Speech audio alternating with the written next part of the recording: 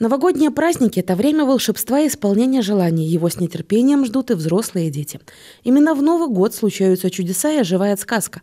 А поверить в это вам помогут братья Дед Мороз Синий Нос и Дед Мороз Красный Нос с внучкой Снегурочкой, а также всеми любимые герои сказки Маша и Медведь. Действие начинается у входных ворот и продолжается по всей территории замка.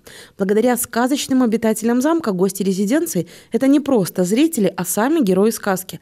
Гостей также ждет кукольное представление представления по мотивам сказки «Каша из топора», подвижные игры, конкурсы, соревнования, веселый хоровод и многое другое.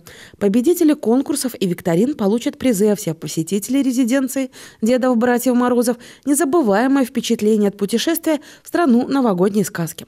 По окончании сказочного представления Дед Мороз Красный Нос примет юных гостей и их родителей в своей башне, а кто его удивит и порадует песней, танцем, стихотворением, ждут призы. Желающие смогут сфотографироваться с любимыми персонажами вечерами. На Замковой будут рады подарить вам хорошее настроение, праздник, улыбки, смех и позитивные эмоции. Театрализованные представления будут проходить с 21 по 30 декабря 2019 и со 2 по 6 января 2020 в 10, 12 и 14.00. Запись по телефону 32 47 15.